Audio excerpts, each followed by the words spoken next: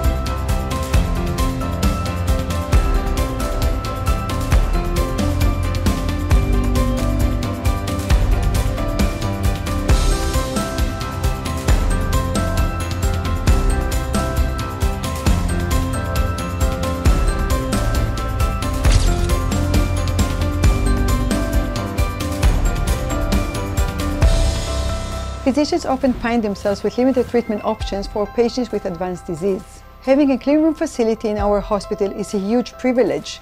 It will allow us to lead our own clinical trials and to collaborate with leading centers around the world to provide innovative solutions for our patients.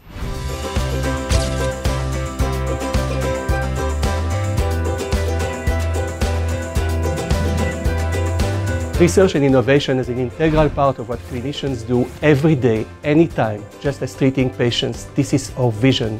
This is our way at the Tel Aviv Medical Center.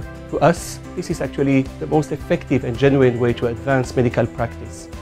The opening of the new Center for Advanced Cellular Therapies is just in line with this conceptual move, translating frontline research into novel therapeutic solutions to bring about true changes in the life of the most desperate patients.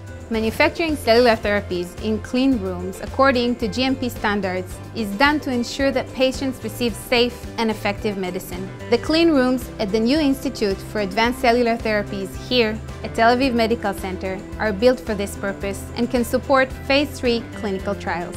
From lab bench to bedside, our goal is to bring new hope to our patients through personalized medicine, innovation, and quality. I'm pleased that thanks to the new I-ACT, the treatment we have developed can now be offered to cancer patients, not only to experimental animals.